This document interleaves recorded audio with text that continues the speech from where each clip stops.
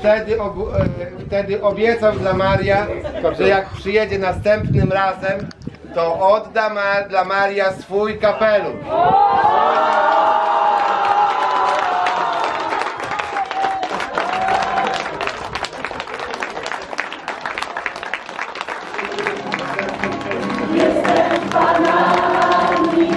I bardzo szybko.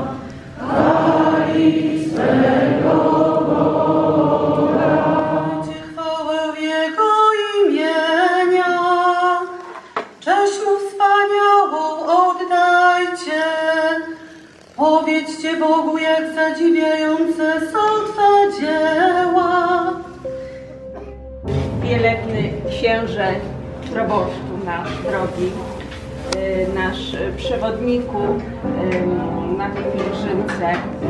W imieniu y, wszystkich pielgrzymów pragniemy księdzu niezwykle podziękować za opiekę duszpasterską na tej pielgrzymce, która jest naprawdę fantastyczna.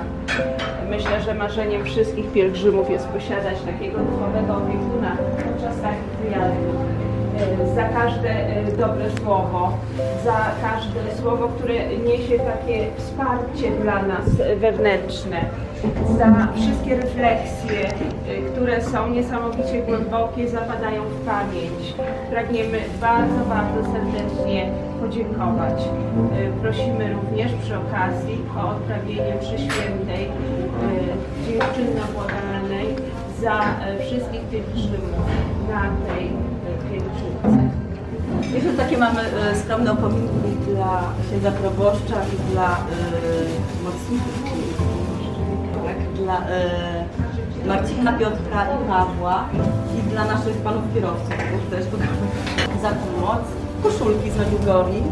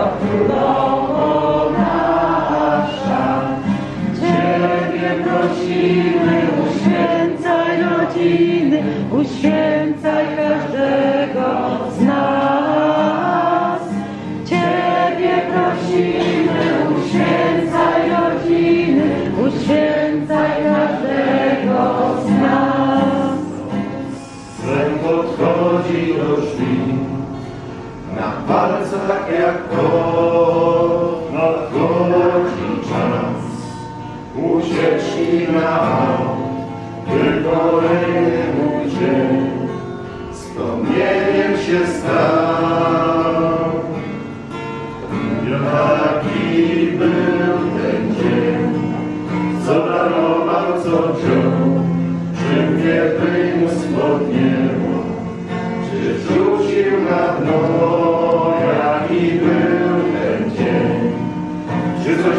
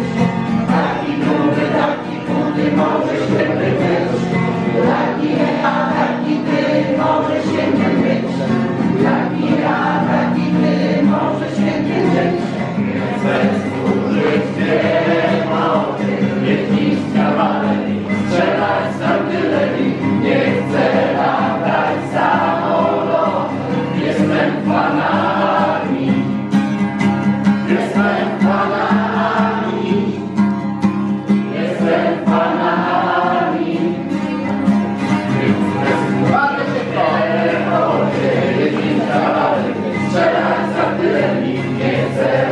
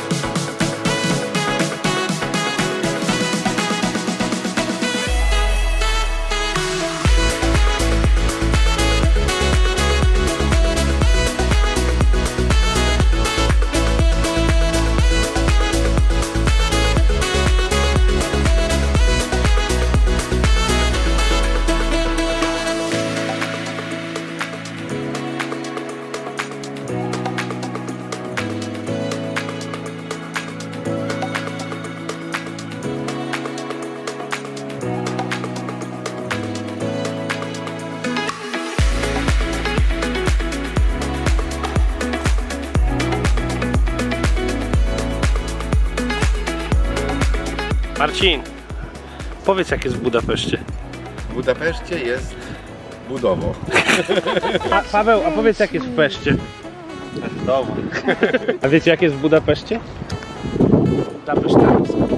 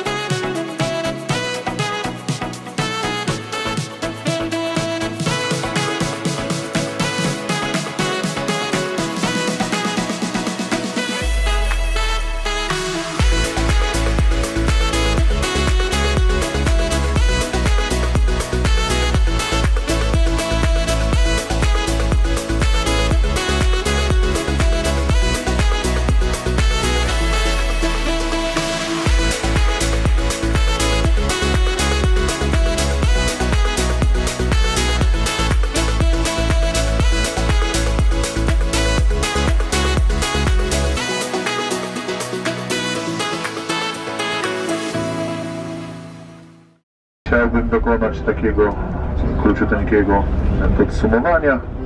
Jak mawiał mój profesor e, Dołęga w seminarium, podzielić się takimi kilkoma nieuczesanymi myślami. Generalnie też takim sercem tego naszego wyjazdu był pobyt e, w Medjugorje. To, co tam nas spotkało, to, co w nas zostało, myślę, że jest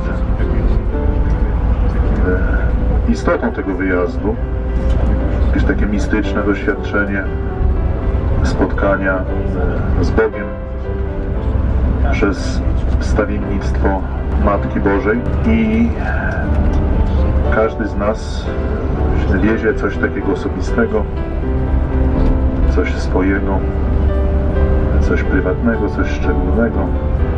Przede wszystkim Panu Bogu wdzięczni jesteśmy za ten czas, bo od Niego wszystko się zaczęło. Kiedy planowaliśmy ten wyjazd, y, to też nie odbyło się na takiej zasadzie, że o tam pojedziemy, bo pojedziemy, tylko chodziło o to, żeby utrafić w taki czas, w takie miejsce, żeby ten wyjazd coś dał. Nie chodzi o to, żeby pojechać, aby pojechać, natomiast chodzi o to, żeby e, żeby konkretna pielgrzymka, czy konkretny wyjazd przyniósł jakieś owoce. Myślę, że e, to Medjugorje jest e, dobrym wyborem e, i każdy z nas gdzieś tam w głębi serca pewnie to potwierdzi. Powiem szczerze, że dla mnie był to czas takiego duchowego odpoczynku, regeneracji sił duchowych. E, Tutaj sobie e, odpocząłem się, zregenerowałem troszeczkę, tak odsunąłem się na drugi, trzeci, a może nawet i czwarty plan. Uaktywniałem się tylko w tych momentach, które m, były istotne dla posługi kapłańskiej. E, Natomiast tutaj całą taką pracę, myślę, tytaniczną wykonali moi przyjaciele, Marcin, Piotrek, Paweł. I też w jakimś sensie to, że tu jesteśmy, to im zawdzięczamy, ale nie tylko dlatego, że się napracowali, że gdzieś logistycznie całą tą pielgrzymkę złożyli, przygotowali, zadbali o każdy szczegół, ale też w jakimś sensie oni mnie reaktywowali, dlatego że był taki moment, że ja już podjąłem decyzję, że kończę pewien rozdział w życiu i że wycofuję się z czynnego pielgrzymowania. No ale szybko po przyjściu do Węgiersztyna okazało się, że jest to olbrzymi potencjał ludzki. I stąd taka decyzja nie inna, dlatego, dlatego myślę, że w tym sensie jest to też zasługa chłopaków, że, że mnie w tej materii reaktywowali i zasługa parafian ludzi, którzy mnie do tego zainspirowali. Także bardzo cieszę się, że tu jesteście, przeżywacie tą pielgrzymkę, cieszę się obecnością każdego z Was. Dziękuję serdecznie moim przyjaciołom, a wiem też ile chłopcy serca włożyli. To jest kwestia dziesiątek, może setek przeróżnych telefonów, to i we, to rozmów, spraw, e, korygowania i chcę im gorąco podziękować za to, że, że są moimi przyjaciółmi i, i, i że możemy wspólnie służyć sprawie Bożej. I dla tego dzieła się trudzić. Czerpiemy z tego olbrzymią radość. Bardzo Was proszę, żebyście nagrodzili wszystkich moich przyjaciół, Marcina, Piotrka, Pawła, brawami, podziękowali za.